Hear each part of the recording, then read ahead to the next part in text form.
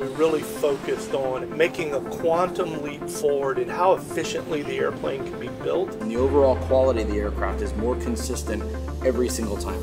The biggest change has been the increase in automation. We went to a number of robotic techniques and 3D model design that actually helped the fit and function of the airplanes. We utilized an IPAC machine in IMPAC, which is basically a panel assembling machine. And we also use multiple KUKA robots in the assembly of the wings and the empennages.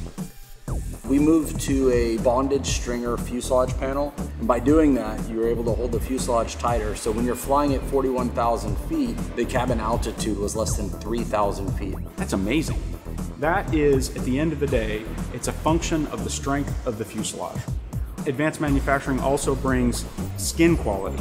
We're able to provide laser straight, perfectly accurate mechanical fastener installations that provide a skin quality that is much better. Makes the paint job look better and makes the aircraft look a lot better. And when you have that, the airplane now weighs less. You produce less drag, so now you're more efficient through the air. And the ultimate benefit for the customers is significant drop in noise in the cabin. Less drag, good for efficiency, and less noise, which is fantastic for the customers. Our quality is dependent upon our employee workforce. Our technicians take great pride in being the best in the industry, and it shows in their work. We meet our commitments, and we not only meet them in terms of what we say the aircraft can do, but when we say the aircraft is going to do it.